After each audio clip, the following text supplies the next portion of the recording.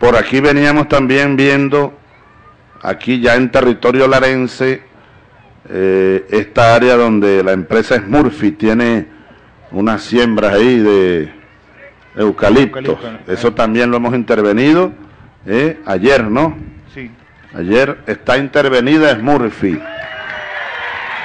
Está intervenida. ¿Cuántas hectáreas tenemos ahí?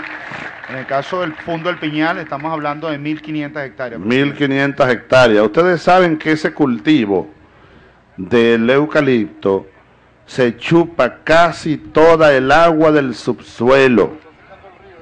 Se están secando los ríos, si es que acabamos de ver el río, ¿cómo se llama? La Lucía. To- totalmente seco. Porque el eucalipto chupa, es como una esponja y va secando lo- los acuíferos.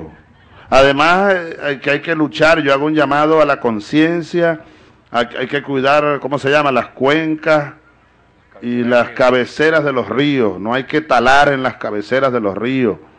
Habrá que reforestar, pero esos ríos tenemos que recuperarlos. Están secos. Hemos pasado varios, varios ríos, varias, varios cauces que están secos. Ahora, una de las causas es la siembra del eucalipto. Entonces, eso está intervenido. Vamos entonces a explotar de manera racional esa madera y luego vamos a cambiar, ¿cómo se llama? El, La vocación. la vocación. Vamos a sembrar otras cosas ahí, que no sea eucalipto. Vamos a sembrar para nuestra alimentación en primer lugar.